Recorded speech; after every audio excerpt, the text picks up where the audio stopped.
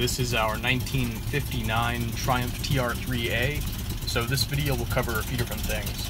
First off, there will be a very slow-paced walk around, and then after that, there will be video clips of the interior, as well as a few rev-up clips of the car.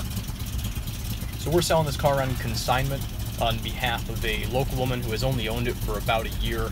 Uh, unfortunately, her husband uh, had purchased the car just after it was restored uh, in 2018 and then passed away not too long after.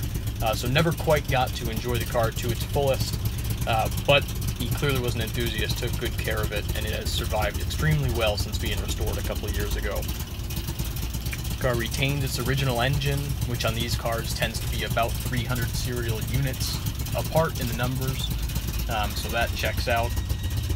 Body's in excellent condition, clearly restored to a really high standard. There's no paint run, no orange peel, uh, no dust nibs, none of those signs of a poor paint job. Very, very nice. The light lenses and glass are all clear and crack free. The weather stripping is all new. Uh, the tires appear new. The DOT number says they're from 2018.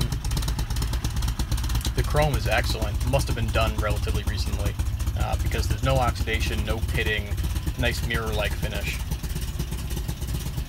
Polished wire wheels are a good look. You can see that driver door handle. That's one annoying thing about this car. That door handle needs a look. Uh, it'll spin the opposite way, but it, it stays stays shut. So we've just been climbing over that little door.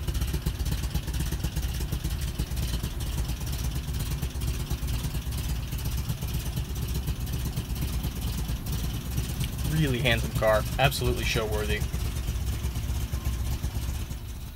Uh, onto the interior. The dash is free of any hairline cracks. Uh, that is a Moto-Lita wheel, uh, and the original wheel will come in a box with the car as well. You can see it's just got these kind of rubber cutout floor mats in there. Uh, carpet's in nice shape, presumably only a few years old. Uh, car will come with a tonneau cover, uh, boot cover, as well as the convertible top.